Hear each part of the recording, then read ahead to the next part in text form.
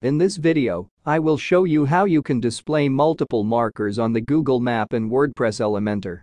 By default Elementor's Google Map widget comes with only single location to display, and there is no other elements for Google Map in Elementor.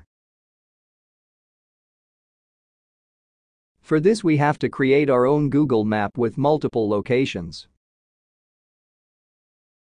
Go to your browser and search for Google Map.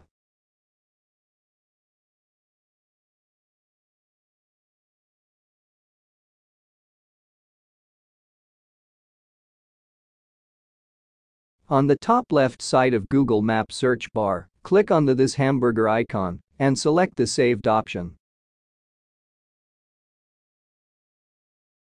Now click on Maps. Then at the bottom you will see Create Map, click on it.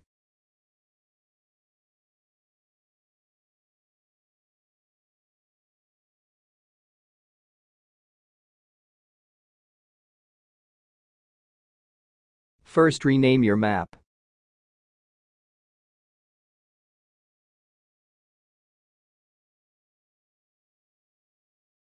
Now add locations to your map. Click on Add to Map to add the marker on this searched location.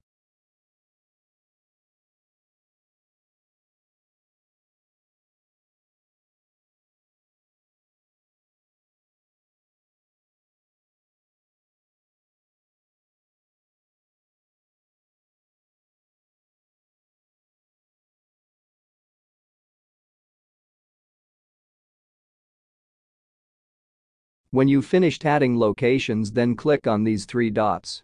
And select embed on my site.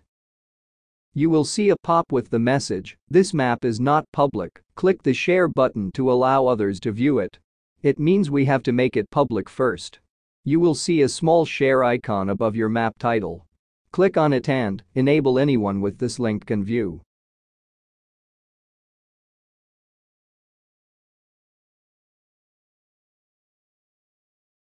Now again go those three dots and click the embed on my site.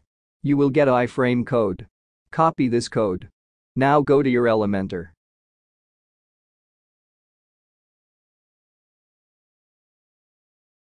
Delete the default Google Map widget.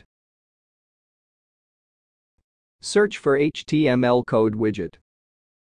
Drag and drop it onto your page. Now paste the iframe code inside here. Our map displayed successfully. But you can see the black bar on the map. We don't want it to visible. To get rid of this, search for Spacer widget. Drag and drop it over to the Google Map. Adjust its length. Now go to Advance, in Layout make it Z-index 999 and change its background color according to your page color.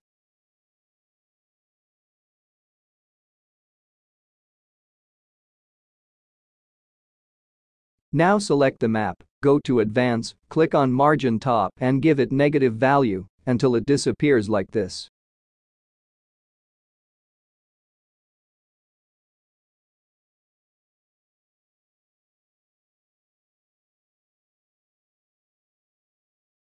In this way you can add multiple markers on your WordPress website without writing any code.